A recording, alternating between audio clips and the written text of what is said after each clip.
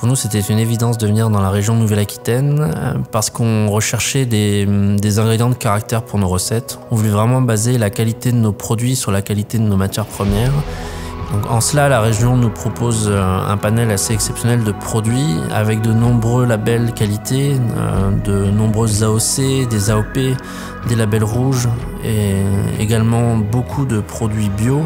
On retrouve aussi des savoir-faire euh, traditionnels qui nous ramènent un peu au slow food comme le, les haricots maïs dans le Béarn, le piment d'Espelette. On a vraiment énormément de, fruits et légumes de très très grande qualité. On est très sensible euh, dans notre démarche, et je pense que c'est le cas de tous les transformateurs, on est très sensible à, la matière première et on a, on a conscience que la qualité de nos produits finis dépend essentiellement de la qualité des matières premières. On est, on est une sorte de passeur et que sans matières premières de haute qualité, on ne pourrait pas faire des produits finis de qualité.